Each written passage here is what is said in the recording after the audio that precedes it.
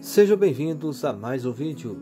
Vocês sabem que fim levou esse ônibus da Helios, prefixo 830? Então fique até o final do vídeo e estarei mostrando aonde ele está nos dias atuais.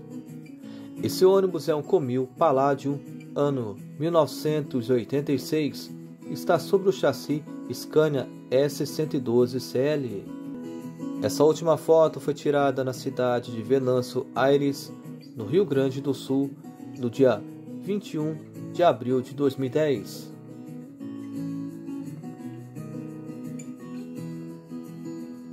Depois de muitos anos na empresa Helios, ele foi vendido para a empresa Maluca Tour, Viagem e Turismo, é onde ele está até hoje.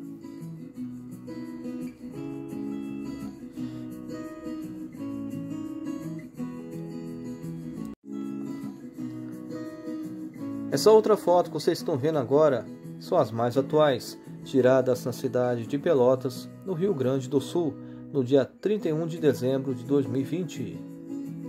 Reparem que esse ônibus está até bem conservado e praticamente todo original. Gostaram do vídeo? Então já deixe seu joinha, compartilhe esse vídeo, deixe aqui embaixo o seu comentário. Muito obrigado a todos vocês, fiquem com Deus e até o próximo vídeo.